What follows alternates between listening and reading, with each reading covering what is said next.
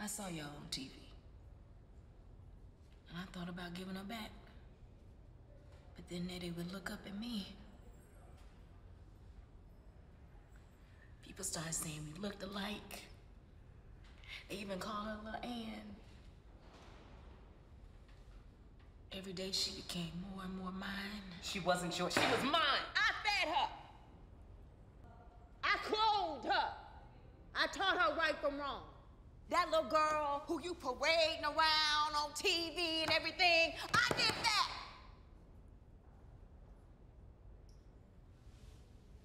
You should be thanking me.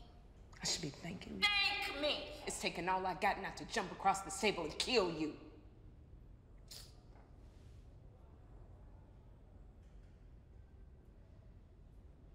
I know you hate me.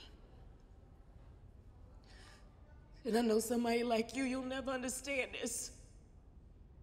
Somebody like you, you know, you got a lot of love in your life.